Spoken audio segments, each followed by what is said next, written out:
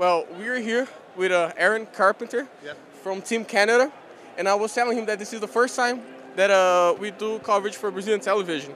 So, you know, what do you have to say about the game? I thought it went uh, it went all right for us. Uh, in the first half, we made a real big comeback once they, they came out storming in the first 10 minutes and put a lot of points on us. And uh, it was hard for us to come back, but we did really well to score two tries. And we were unlucky to get that not get that one right before halftime. I thought we got over and scored, uh, but it didn't work out for us. And sometimes that happens, so we'll have to take it. And uh, in the second half, we just didn't have enough in the tank. It was a hot day and couldn't come back in too many times. As far as rugby is concerned, do you know if Brazil is promoting rugby in, in, in any sense? I've heard that Brazil is uh, picking up their rugby quite a bit. Uh, they've been in the uh, the championship, the South American championships, and done quite well in there.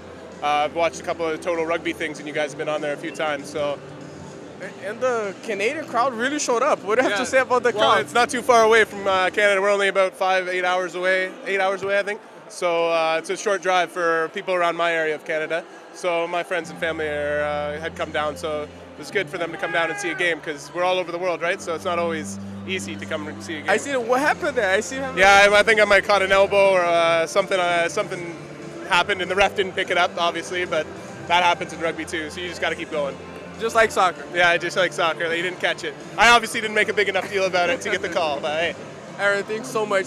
no problem. Guilherme Salgado, diretamente para o VejaTV.